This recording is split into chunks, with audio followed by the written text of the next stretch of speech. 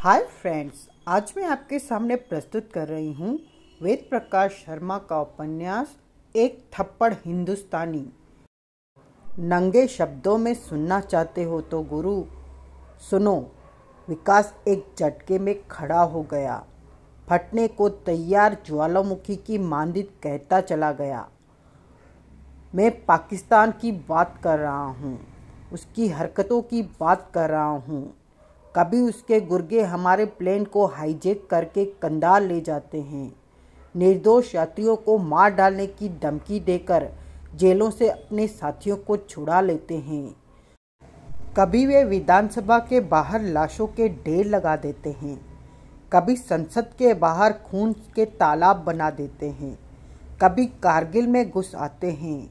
तो कभी पुछ के वाशिंदों को अपना घर छोड़ने पर मजबूर कर देते हैं। ये सब बंद होना चाहिए गुरु। कुछ करना चाहिए हमें। क्या करना चाहते हो? विजय ने पूछा। एक थप्पड़ जड़ना चाहता हूँ, पाकिस्तान के गाल पर। थप्पड़? एक ऐसा थप्पड़ जो पाकिस्तान को उसकी औकात बता दे। एक थप्पड़ हिंदुस्तानी। बड़ा ही सुखद संयोग था। ईद और रामनवमी, एक ही दिन। परंतु प्रशासन के लिए मानो यह परीक्षा की घड़ी थी। जैसा वातावरण इन दिनों देश में चल रहा था, उससे दोनों त्योहारों का एक ही दिन पड़ना उनके लिए बड़ा भारी सिरदर्द था, जिनके ऊपर शांति व्यवस्था और सौहार्द बनाए रखने की ज़िम्मेदारी थी। पूरे देश के हर बड़े शहर को मानो दो खेमों में बांट दिया गया था। एक वह जहाँ ईद की नमाज़ पढ़ी जानी थी। दूसरा वह जहाँ से रामनवमी की बारात निकलनी थी। चप्पे चप्पे पर सुरक्षा के कड़े बंदोबस्त किए गए थे। कुछ वर्षों से यह देश का दुर्भाग्य बन चुका है। त्यौहार भी संगीनों के साय में मनाए जाने लगे हैं। जैसा हाल सारे देश का था, वैसा ही राजनगर का भी था। ईदगाह पर नौ बजे नमाज़ पढ़ी जानी थी। ठीक उसी वक्त बड़े राम मंदिर से रामलला का डोला निकलना था। दोनों समुदायों के जिम्मेदार लोगों ने एक दूसरे पर विश्वास दिलाया था कि दोनों त्यौहार बगैर किसी भेदभाव के एक दूसरे से मिलजुल कर मनाए जाएँगे। बावजूद इसके प्रशासन सतर्क था। वह असामाजिक तत्वों को किसी किस्म का मौका नहीं देना चाहता था। सवा नौ बजे एक साथ नमाज़ पढ़ते हज़ारों लोगों ने अपने मस्तक ज़मीन पर टिकाए। दूसरी तरफ़ घंटे घड़ियाल और शंख बजे। राम जी रथ पर सवार हुए। धूम, धड़ाम, धूम। ईदगाह के आसपास बने मकानों की छतों से हैंड ग्रेनेड बरसे। रामनवमी की जुलूस पर गोलियों की बौछार शुरू हो गई। पलक झपकते ही दोनों तरफ़ हाहाकार मच गया। जो बम या गोलियों के शिकार हो गए थे या उनके गोश्त के लोथड़े ज़मीन पर पड़े रह गए थे, बाकियों में भगदड़ मच गई। भगदड़ भी ऐसी कि हर किसी को बस खुद को बचाने का जुनून था। भले ही इस प्रयास में उनके पैरों से दबकर कोई मरता है तो मरे। चारों तरफ़ हाहाकार, चीखो पुकार और भगदड़ मच चुकी थी। जो भीड़ में खुद को खड़ा न रख सका, मर गया। गिरा सड़क पर था, परंतु बहुत सीधा ऊपर गया। सुरक्षा के लिए चारों तरफ़ फैले पुलिस पीएससी और जीआरपी के जवान तक पौखला गए। हैंड ग्रेनेड बरसाने वालों ने नारा लगाया। जय श्री राम ए के सैतालीस से गोलियाँ बरसाने वाले चिल्लाए। अल्लाहू अकबर। श्री राम के नुमाइंदों ने मस्तकों पर भगवा पट्टियाँ बाँध रखी थी।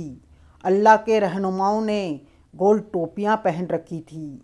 भगवा पट्टी धारक नमाजियों पर बम बरसा रहे थे। गोल टोपी वालों ने राम भक्तों पर गनों के मुँह खोल रखे थे। राजनगर के दोनों छोरों पर एक साथ तांडव शुरू हुआ था। फोर्स को भी जब कुछ नहीं सूझा तो अंधाधुन गोलियाँ बरसानी शुरू कर दी। आँसू गैस के गोले छोड़े जाने लगे। लाठी चार्ज भी किया गया।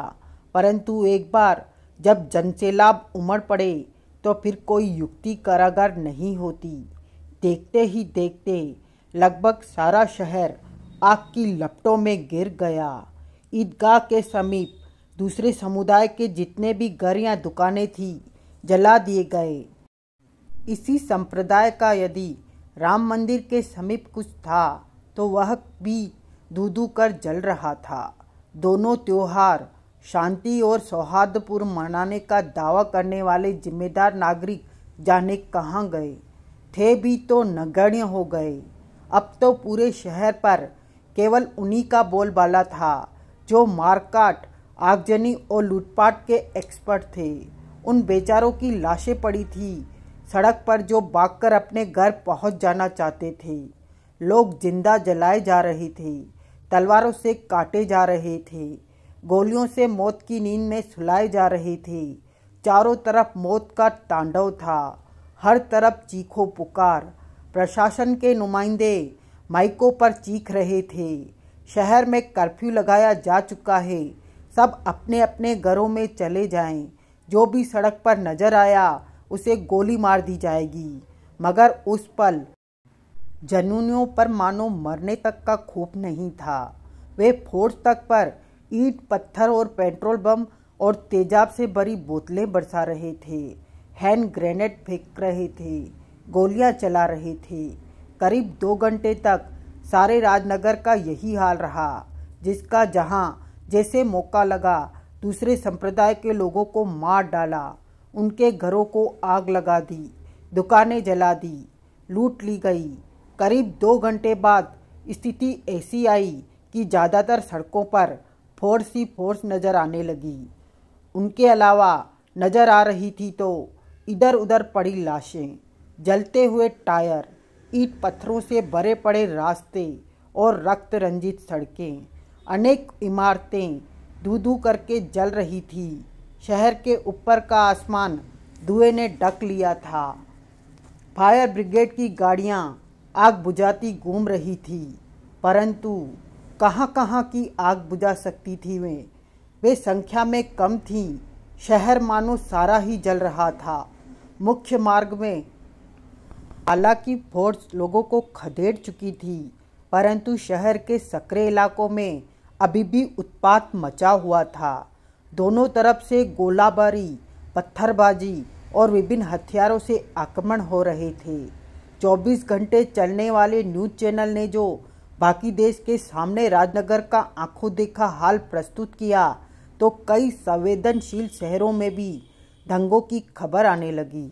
अब तो न्यूज़ चैनल पर खबरें ही खबरें थी। देश के अनेक शहरों में हो रहे दंगों का लाइव टेलीकास्ट किया जा रहा था। मानो दंगे नहीं हिंदुस्तान पाकिस्तान का क्रिकेट मैच हो रहा हो। ये सब कैसे हुआ रघुनाथ? इतनी ज़बरदस्त सुरक्षा व्यवस्था के बावजूद कैसे हुआ यह सब? पुलिस हेडक्वार्टर में आईजी पुलिस ठाकुर निर्भय सिंह आग बबूला हुए। सुप्रिंटेंडेंट रघुनाथ पर बरस रहे थे। लोगों के पास कहाँ से आ गए हैंड ग्रेनेड? तुम पहले क्यों पता नहीं लगा सके कि इस शहर के लोगों के पास के सैतालीस भी है। यह सब पहले से पता रखना हमारा नहीं इंटेलिजेंस का काम है, सर। उफ, ठाकुर साहब झुंझलाकर दांत पीस उठे। इंटेलिजेंस को कोसने की जगह तुम अपने काम पर ध्यान क्यों नहीं देते? तुमने क्या किया? तुम्हें पहले से मालूम था। आज ईद और रामनवमी साथ साथ हैं। दोनों फिरकों के लोगों को अपने अपने यह दंगा दोनों फिरकों में से किसी ने नहीं किया, सर। फिर किसने किया है? दंगों के पीछे केवल चंद लोग हैं। पहले ही से बढ़ ठाकुर साहब कुछ और भड़क उठे। ये जो शहर में मारकाट मची है लूटपाट हुई है इमारतें अभी तक जल रही हैं, यह सब चंद लोगों का काम है? बेशक यह सब दोनों फिरकों के आम लोगों ने किया है, सर। मगर उन्हें यह सब करने के लिए उकसाने वाले चंद ही लोग हैं। आम लोगों का क्या है? जब उन्हें भड़काया जाता है तो भड़क उठते हैं। अपने सगे संबंधी की लाश देखकर वह भी फड़क उठता है, जो शांति के वक्त तहे दिल से कहता है, जब दोनों फिरकों को इसी मुल्क में रहना है तो क्या फ़ायदा मारकाट का? दोषी ये लोग नहीं, वे हैं। जो अच्छे भले शांति प्रिय नागरिकों के जेहन में जहर गोल देते हैं। कौन है वे लोग जिनके पास ए के सैतालीस थी, हैंड ग्रेनेड थे? ऐसे लोगों में से किसी को गिरफ़्तार भी कर सके हो तुम? हाँ सर, दो पगवा पट्टी वाले पकड़े गए हैं, तीन गोल टोपी वाले। कहाँ हैं वे? पाँच अलग अलग थानों में हैं। उनसे पूछताछ की जा रही है। रघुनाथ कहता चला गया। मुझे मिली इन्फॉर्मेशन के मुताबिक ठीक सवा नौ बजे नमाजियों पर बम बरसाए गए और ठीक सवा नौ बजे ही शहर के दूसरे छोर पर राम भक्तों पर गोलियाँ बरसानी शुरू की गई। इसी से ज़ाहिर है दंगा भड़का नहीं, भड़काया गया है। पहले से ही सोच समझकर बनाए गए प्लान का नतीजा है ये। उन्हें मालूम था। उनकी कार्रवाई के बाद बाकी काम आम जनता खुद कर देगी। क्या कहना चाहते हो तुम? क्या विश्व हिंदू परिषद के लोग जमायत इस्लामी के लोगों से मिले हुए हैं? मेरी इन्फॉर्मेशन के मुताबिक, न वे विश्व हिंदू परिषद के लोग हैं, न जमायत इस्लामी के। हाँ खुद को दिखाने की कोशिश उन्होंने यही की है। क्या मतलब? ये देखिए, कहने के साथ रघुनाथ मेज की तरफ़ बढ़ा। वहाँ रखी पाँच पाँच सौ के नोटों की गड्डियों में से एक गड्डी ठाकुर साहब को देता बोला, यह गड्डी उनसे बरामद हुई है, जो खुद को जमायत इस्लामी से संबंधित बता रहे हैं। और यह गड्डी उसने दूसरे डेढ़ से उठाकर एक और गड्डी ठाकुर साहब के दूसरे हाथ में देने के साथ कहा। उनसे जो माथे पर भगवा पट्टी बांधकर खुद को विश्व हिंदू परिषद से कनेक्टेड साबित करना चाहते हैं। दोनों गड्डियों को ध्यान से देखिए। हकीकत खुद आपकी समझ में आ जाएगी। ठाकुर साहब ने दोनों गड्डियों को ध्यान से देखा। कुछ देर देखते रहे, फिर चौके। मुँह से निकला, ये तो आगे पीछे की गड्डियाँ हैं। नोटों पर पड़े नंबर खुद बता रहे हैं, सर। इनमें से एक गोल टोपी वालों से मिली है, दूसरी बगवा पट्टी वालों से। जी हाँ सच्चाई यही है। और यह सच्चाई खुद ब खुद कह रही है, दोनों गड्डियाँ एक ही छापे खाने से निकली है और और ये दोनों गड्डियाँ नकली नोटों की हैं। क्या मतलब? यह हकीकत सुनते ही उनके पैरों तले से ज़मीन खिसक गई, जिनकी जेबों में ये थी। उन्हें लगा, इसका मतलब उन्हें बेवकूफ़ बनाया गया है। ऐसा एहसास होते ही उनसे यह उगलवाना आसान हो गया कि नकली नोटों की ये जाली गड्डियाँ उन्हें पाकिस्तानी जासूसों से मिली हैं। उसी काम के लिए जो उन्होंने किया। हैंड ग्रेनेड और ए के सैतालीस भी उन्हें उन्हीं से मिली है। क्या बगवा पट्टी लगाए लड़के हिंदू नहीं हैं? सौ परसेंट हिंदू हैं, सर। फिर उन्होंने पाकिस्तानी जासूसों के मुजरिम न हिंदू होते हैं, न सर मुसलमान, न उन्हें कुरान से कुछ लेना देना है न रामायण से।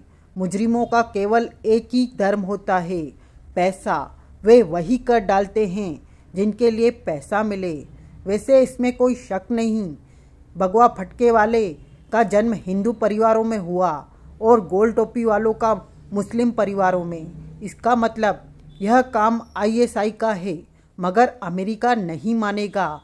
वह यही कहेगा, क्या सबूत हैं? ये गड्डियाँ इन लोगों से मिली हैं। विकास ने गुप्त भवन में कदम रखा। वहाँ पहले से मौजूद विजय और ब्लैक बाय उसे देखकर चौके। हमें मालूम था, प्यारे, विजय ने कहा, देर सवेर होने वाले हैं दर्शन तुम्हारे। पहले मैं आपकी कोठी पर गया था, गुरु। विकास का लहजा अत्यंत गंभीर था। वहाँ नहीं मिले तो समझ गया, आप यहाँ होंगे।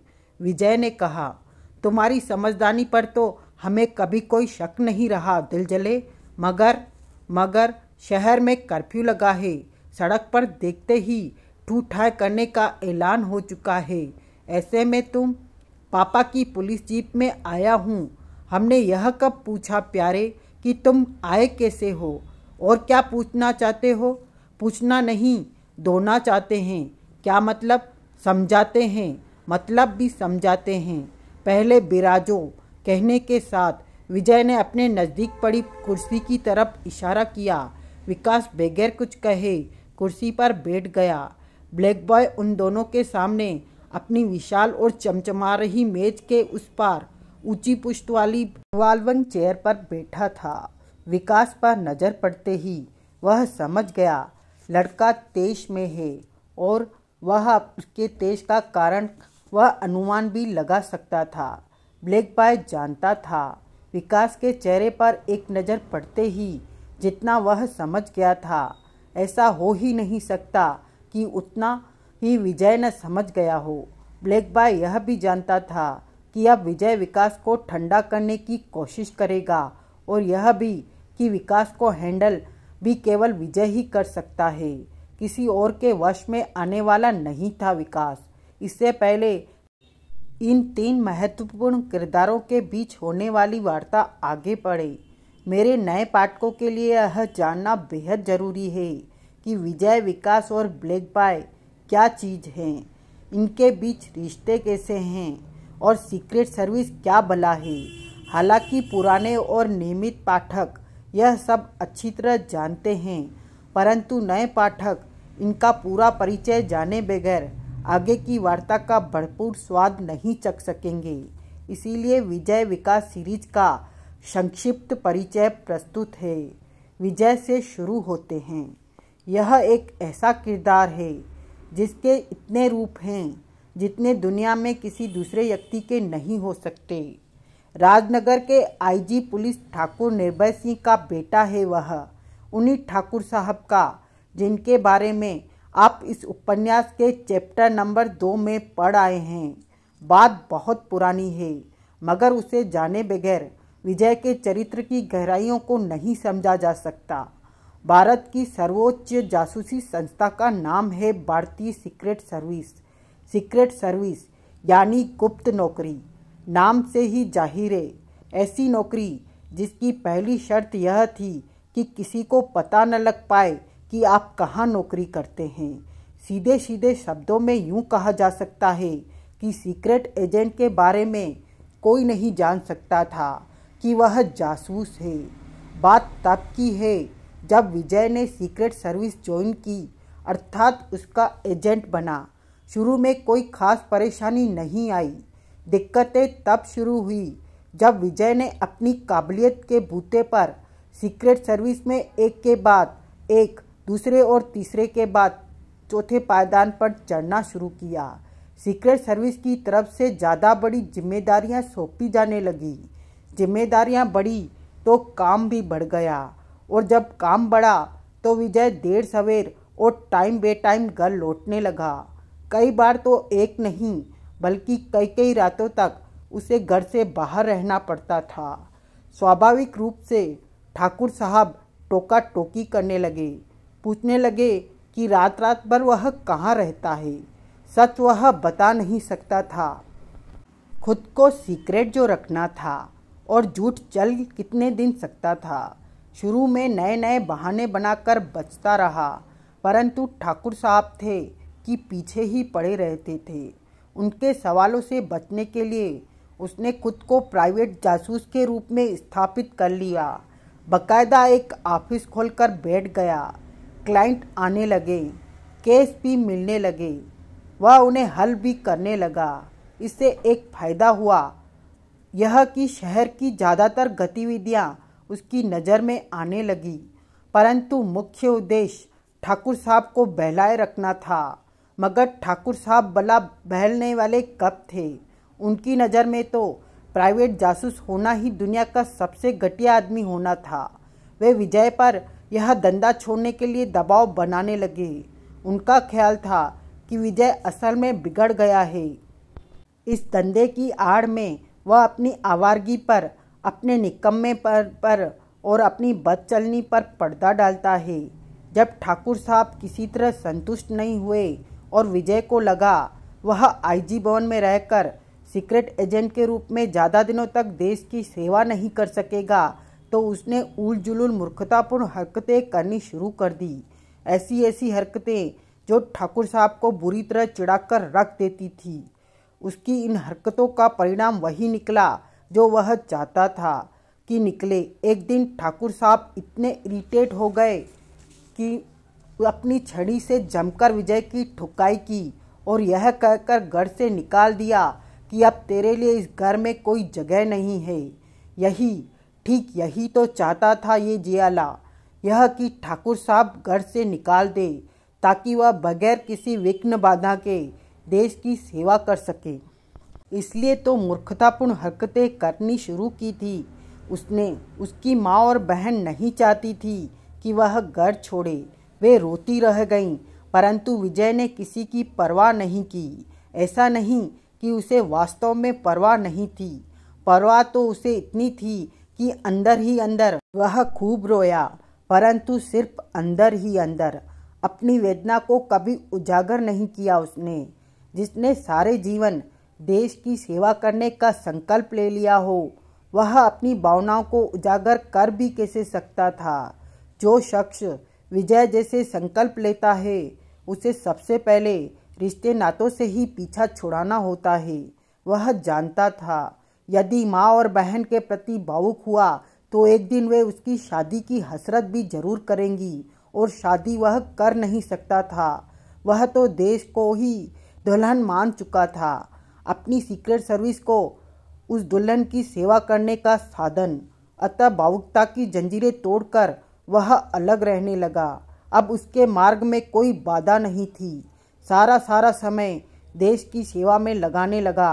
मूर्खतापूर्ण हरकतों व बातों का आवरण उसने हमेशा के लिए खुद पर चिपका लिया। कारण यह बात उसकी समझ में आ चुकी थी कि इन हरकतों के चलते कोई इस बात की कल्पना तक नहीं कर सकेगा कि वह सीक्रेट एजेंट है और यही वह चाहता था। अब वह अपने हर परिचित के सामने वैसी ही हरकतें करने लगा। जैसी घर से निकलने के लिए ठाकुर साहब के सामने शुरू की थी। सीक्रेट एजेंट के रूप में वह देश की सेवा में मकशूल हो गया। प्राइवेट जासूसों का दंगा आड़ के रूप में चल रहा था। और फिर एक दिन ऐसा आया जब गृह मंत्री ने उसे सीक्रेट सर्विस का चीफ बना दिया, मगर वह दौर ज़्यादा लंबा नहीं चल सका। चीफ का मतलब था ऑफ़िस में बैठे रहना, सीक्रेट एजेंट का काम लेते रहना। यह सब विजय के मिजाज के बिल्कुल विपरीत था। वह फ़ील्ड का आदमी था। फ़ील्ड में काम करना चाहता था। ऑफ़िस में बैठकर फाइलें देखता देखता वह बोर हो गया था। सो एक दिन गृह मंत्री को साफ़ साफ़ उसने अपनी मंशा कह दी। गृह मंत्री दुविधा में पड़ गए। कहा, सीक्रेट सर्विस में तुम्हारे अलावा हमें और कोई ऐसा नज़र नहीं आता जिसे चीफ बनाया जा सके। विजय तब भी न माना तो तत्कालीन गृह मंत्री ने कहा ठीक है, अब हम यह ज़िम्मेदारी भी तुम्हें ही सौंपते हैं, जिसे तुम मुनासिब समझो सीक्रेट सर्विस का चीफ नियुक्त कर दो और खुद साधारण एजेंट की तरह फ़ील्ड में काम करो। तब विजय ने अपनी बुद्धि की नज़रें घुमाई। सीक्रेट एजेंट के रूप में उसके सामने थे अशरफ विक्रम, नाहर, परवेज, आशा और अजय। नज़र अजय पर जाकर ठहरी। भारतीय सीक्रेट सर्विस के चीफ को ब्लैक बॉय कहा जाता था। विजय ने इस खिताब से अजय को ही नवाजा। उसने गृह मंत्री से कहा, मेरे ख्याल से अजय चीफ की कुर्सी संभाल सकता है, जैसी कि परंपरा है। चीफ को नियुक्त गृह मंत्री द्वारा की जाती है। मेरी राय है कि आप उसे बुलाएँ और चीफ नियुक्त करें। गृह मंत्री ने अजय को गुप्त भवन बुलाया और जब उसे चीफ नियुक्त किया गया तो वह हैरान रह गया। कहने लगा, सर, बला में इतनी बड़ी ज़िम्मेदारी संभालने योग्य कहाँ हूँ? तब गृह मंत्री ने उससे साफ़ साफ़ कह दिया कि तुम्हारी सिफारिश विजय ने की है। उस विजय ने, जो अब तक सीक्रेट सर्विस का चीफ था, यह बेद खुलने पर तो अजय उछल ही पड़ा, मुँह से निकला, विजय विजय और चीफ, यह आप क्या कह रहे हैं, सर? वह जोकर हमेशा मूर्खतापूर्ण बातें करने वाला विजय भला सीक्रेट सर्विस का चीफ कैसे हो सकता है? उसे तो मैं अशरफ, विक्रम और नाहर आदि सीक्रेट एजेंट तक मानने को तैयार नहीं होते। अक्सर आपस में बातें करते रहते हैं कि किसने इस जोकर को सीक्रेट सर्विस में भर्ती कर लिया और आप आप कह रहे हैं कि वह हम सबका चीप था।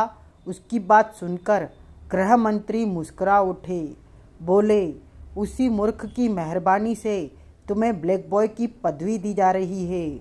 उन्होंने उसी वक्त विजय को भी गुप्त भवन बुलवा लिया था। जब उसे पता लगा गृह मंत्री ने अजय को यह सब बता दिया है तो उसे अच्छा नहीं लगा। परंतु वह केवल इतना ही कह सका, सर, परंपरा यह रही है कि सीक्रेट एजेंट तक को यह पता नहीं होता कि उनका चीफ कौन है। वे अपने चीप को केवल उसकी बर्राई हुई विशिष्ट आवाज़ से पहचानते हैं। चीप हमेशा उनके सामने अपने चेहरे को नकाब में ढककर रहता है। मैं चाहूँगा यह परंपरा कायम रहे। जिस तरह आज तक अशरफ, विक्रम, नाहर और अजय आदि यह नहीं जानते थे कि उन, मैं उनका चीफ हूँ, उसी तरह ये भविष्य में भी कभी यह न जान सके कि चीफ अजय है। तब गृह मंत्री के सामने ही अजय ने कहा, आपके हर हुक्म का पालन होगा, सर। न न मेरे सर कहने पर चौके नहीं, ऐतराज भी न करें। भले ही ऑफिशियल रूप से आज से ब्लैक बॉय मैं हूँ, परंतु मेरे लिए चीफ हमेशा आप ही रहेंगे।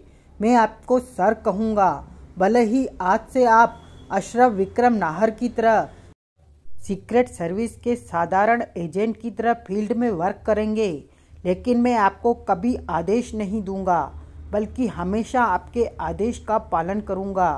अतः यही व्यवस्था कायम हुई।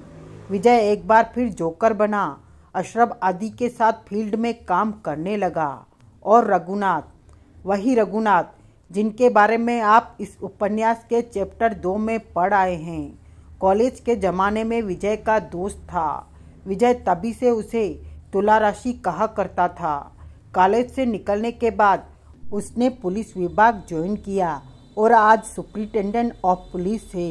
उसकी पत्नी का नाम रेना है, जिसे रघुनाथ का दोस्त होने के नाते विजय बाबी कहता था। परंतु मेरे ही लिखे क्रांति सीरीज़ के उपन्यासों में बेद खुला कि रेना असल में ठाकुर निर्भय सिंह की भतीजी थी। इस नाते वह विजय की चचेरी बहन हो गई और अजय अजय रैना का सग्गा भाई था। इस नाते अजय भी विजय का चचेरा भाई हुआ और उससे पहले ही जन्म ले चुका था आफत का एक पुतला। विकास, जी हाँ यही था उसका नाम। रेना और रघुनाथ का बेटा, ठाकुर साहब का नाती और विजय और अजय का बांजा विकास के दुनिया में आते ही विजय ने प्रतिज्ञा की कि मैं विकास को दुनिया का सबसे बड़ा, खतरनाक, चालाक और सबसे ज़्यादा खूखार जासूस बनाऊँगा। विकास ने पहली बार आँखें तब खोली थी, जब वातावरण में गोलियों की ततड़ाहट गूंज रही थी। वह विकास की छठी थी। हाँ उस वक्त छठी की ही पार्टी चल रही थी, जब अंतर्राष्ट्रीय अपराधी अल्फासे ने कसम खाई थी कि वह विकास के दसवें जन्मदिन पर उसे ले जाएगा। और जब इस लड़के का दसवां जन्मदिन आया तो राजनगर पुलिस के एड़ी चोटी का ज़ोर लगा लिया था। खुद विजय ने भी हर इंतज़ाम किया था, जिससे अल्फासे को उसके इरादे में कामयाब होने से रोक सके। परंतु सब व्यर्थ, सब बेकार गया। अल्फासे को कोई रोक नहीं सका। वह विकास को ले उड़ा। दस वर्ष के इस लड़के को अल्फासे ने ऐसे ऐसे कामों में माहिर कर दिया। कि जब वापस लौटने पर विजय ने उसे देखा तो दांतों तले उंगली दबा ली। फिर रही सही कसर खुद विजय ने पूरी कर दी। वह भी ट्रेंड करने लगा विकास नाम के लड़के को। फिर ऐसा हुआ कि यह लड़का खतरनाक बनता चला गया। सीक्रेट एजेंट बन बैठा। बन बैठा शब्द इसलिए लिखा गया है क्योंकि इसकी नियुक्ति आम सीक्रेट एजेंट की तरह नहीं की गई थी। बल्कि अगर यह कहा जाए तो गलत नहीं होगा कि ब्लैक बॉय उसे सीक्रेट एजेंट बनाने पर मजबूर हो गया था तो गलत नहीं होगा। हुआ कुछ यूँ था। नन्हे शैतान को अपने अंकल प्लस गुरु, यानी विजय की गतिविधियाँ खटकने लगी। उसे शक होने लगा। गुरु केवल उतने ही नहीं हैं जितने ज़मीन के ऊपर नज़र आते हैं। ज़मीन के अंदर वे कुछ ज़्यादा ही हैं। बस, पट्ठे ने गुरु की जासूसी शुरू कर दी। और अतः गुप्त भवन तक पहुँच गया। जान गया यह बेत कि विजय अंकल सीक्रेट एजेंट है। विजय तो फिर विजय था। उसने कसम खा रखी थी। अगर किसी दिन किसी को यह पता लग गया कि मैं सीक्रेट एजेंट हूँ तो उसी क्षण उसे दुनिया से गारद कर दूँगा। भले ही वह मुझे चाहे कितना भी प्रिय हो, भला विकास से ज़्यादा प्रिय विजय को और कौन हो सकता था? इसके बावजूद सिद्धांत प्रिय विजय ने विकास का खात्मा करने की ठान ली। तब अजय, यानी ब्लैक बॉय ने पहली बार विजय के खिलाफ अपने अधिकारों का प्रयोग किया। डाल बनकर विकास के सामने खड़ा हो गया था वह। बोला, मैं इसी वक्त विकास को सीक्रेट एजेंट नियुक्त करता हूँ और एक सीक्रेट एजेंट दूसरे सीक्रेट एजेंट का भेद जान सकता है। अतः आप इसे खरोच तक नहीं पहुंचाएँगे। विजय लाजवाब हो गया। तो यह थी सीक्रेट सर्विस में विकास की हाहाकारी एंट्री उसके बाद तो यह लड़का विजय की कल्पनाओं से भी कहीं आगे निकलता चला गया। अब वह इक्कीस साल का है। लंबा, खूब लंबा, यानी सात फुटा। रंग ऐसा, जैसे ताजे मक्खन में एक चुटकी सिंदूर मिला दिया गया हो। गोल चेहरा, काली आँखें, गुलाबी होठ बला का खूबसूरत है रेना का यह लाल। चेहरे पर मासूमियत का डेरा है, ऐसी कि जैसे वह कोई अबोध बच्चा हो। अर्ध गुंगराले बालों वाला, रघुनाथ का यह बेटा विजय और अल्फासे को गुरु कहता है। केवल कहता ही नहीं, बल्कि टूटकर अपने गुरुओं का सम्मान किया करता है। दिल में प्यार है तो देश के लिए, नफरत है तो उन बेड़ियों के लिए जो इस दुनिया की सड़क पर इंसानी चोले पहनकर घुमा करते हैं। इस हकीकत को विजय अजय या सीक्रेट सर्विस के गिने चुने जासूस ही जानते हैं कि विकास भारतीय सीक्रेट सर्विस का सदस्य है। हाँ रेना के बेटे को आज दुनिया का बच्चा बच्चा जानता है। अपराधी उसके नाम से थर्राते हैं। दोस्त उससे टूटकर प्यार करते हैं। दुश्मन राष्ट्रों की उसके नाम मात्र से रूह फन्ना हो जाती है। विजय और अल्फासे की उम्मीदों से बहुत आगे निकल गया है। वह 21 वर्ष का, यह खूबसूरत और मासूम सा नज़र आने वाला लड़का आज दुनिया का सबसे बड़ा जासूस है। अंतर्राष्ट्रीय सीक्रेट सर्विस का चीफ है। कई बार तो रेना का यह बेटा ऐसे ऐसे काम को अंजाम दिया करता है कि जिन्हें देखकर सुनकर उसके विजय और अल्फासे जैसे गुरु भी दहल उठते हैं। दुश्मन कहते हैं, शक्ल सूरत से मासूम, प्यारा और बोला नज़र आने वाला यह लड़का असल में बेड़िया है। देश के दुश्मनों को चीर फाड़ डालना उसका प्रिय शौक है। तभी तो वे लोग उसे विकास नहीं कहते, दरिंदा कहते हैं, हिंसक और बेरहम कहते हैं। क्रूर, विभत्स और कसाई जैसे शब्द विकास के पर्यावाची बन गए हैं। ऐसा है विकास। ऐसा कि इतना सब कुछ लिखे जाने के बावजूद उसके बारे में कुछ नहीं लिखा गया है। विजय उससे बेहताशा प्यार करता है।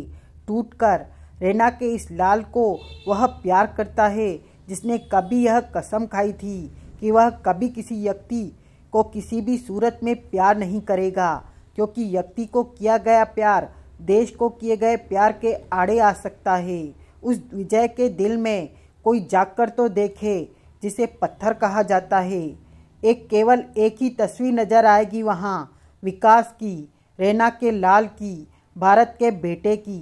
भारत का बेटा हम उसे इसलिए कहते हैं क्योंकि उसके दिल में केवल एक ही भावना है, देशभक्ति की भावना। विकास उसे कहते हैं जो बड़ों का आदर करे, देश के लिए कुर्बान हो जाने के लिए आतुर रहे, मौत के जबड़ों में फंसकर भी हंसे, कह कहे लगाए, बस एक ही खराबी है विकास में। वह बड़कता बहुत जल्दी है। देश की तरफ़ किसी ने आँख उठाकर देखा नहीं कि लड़का उन आँखों को फोड़ देने के लिए झपट पड़ेगा। अगर रास्ते में उसके बड़े आए, आदरणीय रास्ता रोके तो उसका भी निरादर करने से नहीं चूकता जालिम। गुस्से में पागल हो जाता है वह। जासूस होकर मुजरिमों जैसी हरकतें कर बैठता है। नई पीढ़ी का प्रतिनिधित्व करता है वह। उस पीढ़ी का विद्रोह जिसमें कूट कूट कर भरा है, यह पीढ़ी वही करती है, जो उसे ठीक लगता है। विजय विकास के इस स्वभाव से अच्छी तरह परिचित था। गुप्त भवन में कदम रखते ही उसने लड़के के चेहरे पर विद्रोह के भाव पढ़ लिए थे। यह भी समझ गया था कि वह क्यों गरमाया हुआ है। इसलिए आराम से विराजमान होने के लिए कहा और विकास को कुर्सी पर बैठे अभी एक मिनट भी नहीं हुआ था कि पूछा कहो दिल जले, क्या लोगे? ठंडा या गर्म, लड़के की हलक से गुराट सी निकली। गर्म को ठंडा करने की कोशिश न करे गुरु, आप जानते हैं, मैं यहाँ ठंडा गर्म लेने नहीं आया। और क्या लेने आए हो?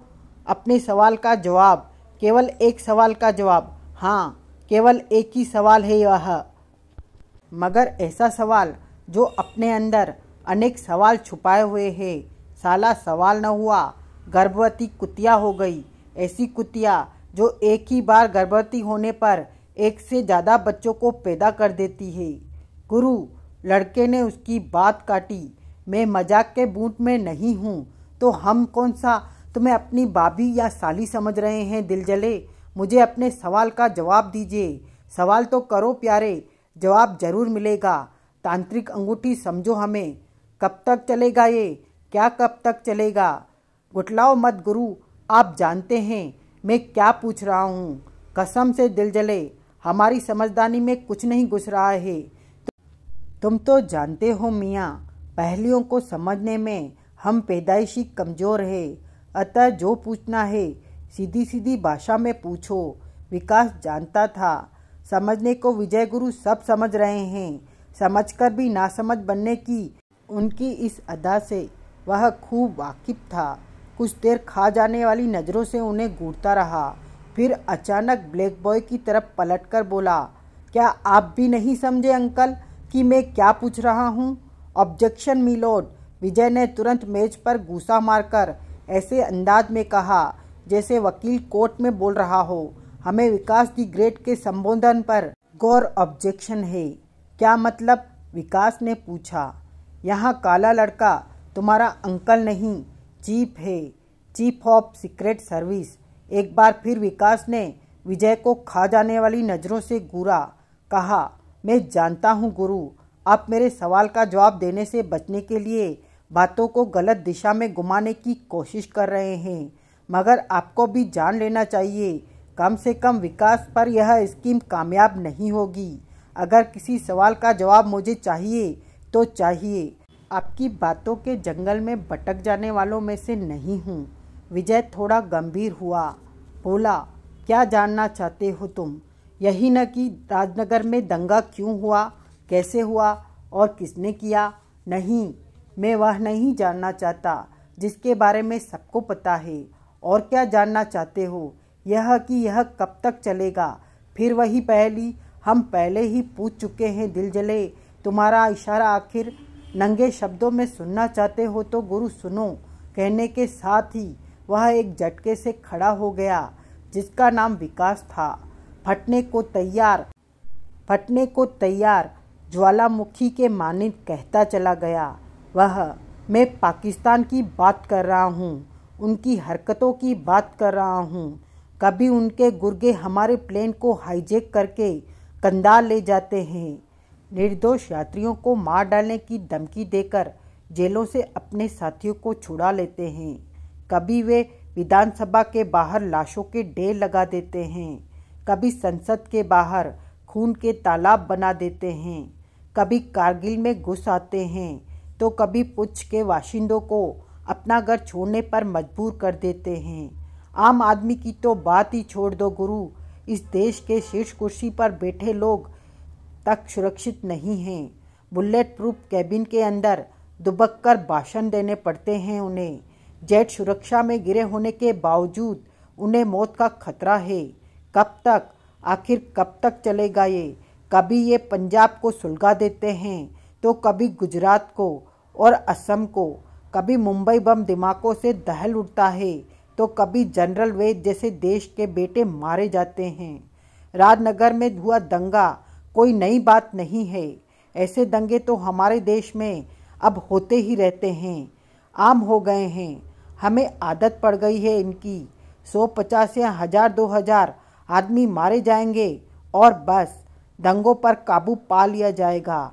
हमारा काम खत्म हो गई हमारे कर्तव्य की इतिश्री क्या यही सब करते रहेंगे हम? कब तक? आखिर कब तक गुरु? बबकते विकास से विजय ने अजीब सवाल किया, टीवी देखते हो? गुरु, आप जो पूछा है, उसका जवाब दो, दिल जले। इस बार विजय ने उसकी बात काट कर सख्त लहजे में कहा, टीवी देखते हो या नहीं? देखता हूँ। तभी तो आज देखा। राजनगर में हुए दंगों के बाद की गई सरकारी प्रवक्ता की प्रेस कॉन्फ्रेंस सुनी विजय ने पूछा हाँ सुनी। सुनकर ही आ रहा हूँ। क्या कहा उन्होंने? वही जो ऐसी हर बड़ी घटना के बाद कहते हैं। हमने पूछा, उन्होंने क्या कहा? जनता को धैर्य रखने की सलाह दी है और तुम उस पर अमल करते बिल्कुल नज़र नहीं आ रहे। क्या मतलब? पजामे से बाहर निकले जा रहे हो तुम। वे सरकारी प्रवक्ता हैं। देश की सरकार के, उनके सलाह मानी जानी चाहिए।